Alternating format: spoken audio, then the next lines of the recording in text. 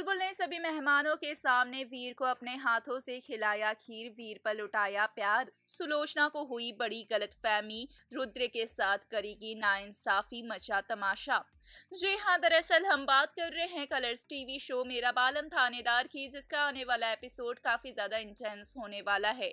Show के upcoming track में हम देखेंगे कि किस तरीके से बुलबुल सभी घर वालों के सामने वीर को अपने हाथों से खीर खिलाते हुए नज़र आएगी, जहाँ पर खीर खिलाकर बुलबुल वीर के मुँह को बंद कर देती है। वहीं दोनों एक दूसरे के आँखों में खोते हुए नज़र आते हैं।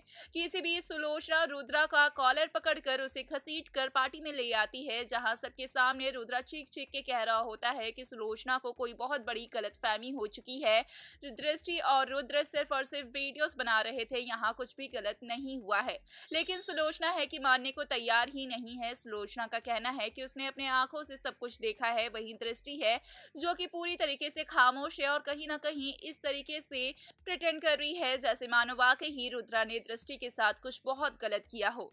वेल तो अब देखना होगा काफ़ी दिलचस्प कि आखिरकार ऐसे में रुद्रा और दृष्टि का रिश्ता कौन से नए मुकाम पर जा पहुंचेगा? हमें कमेंट के ज़रिए अपनी राय ज़रूर बताएँ। साथ ही ऐसे और तमाम खबरों के लिए चैनल को सब्सक्राइब करें।